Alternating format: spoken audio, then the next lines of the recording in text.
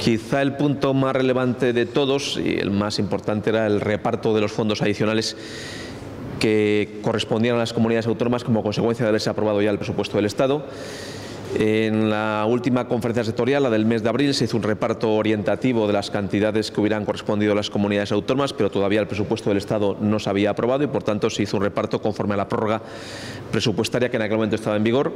Y hoy lo que existe es un presupuesto aprobado del Estado y un reparto adicional conforme a las cantidades añadidas que corresponden a las comunidades autónomas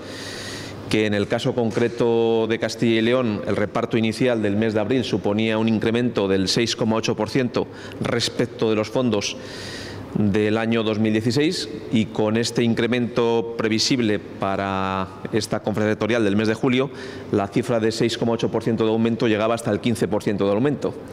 Hemos votado a favor seis comunidades autónomas y ha habido diez comunidades autónomas que han votado en contra de ese reparto. El asunto queda sobre la mesa y lo que en este momento el Ministerio ha quedado es en estudiar las posibilidades de que aquellas comunidades autónomas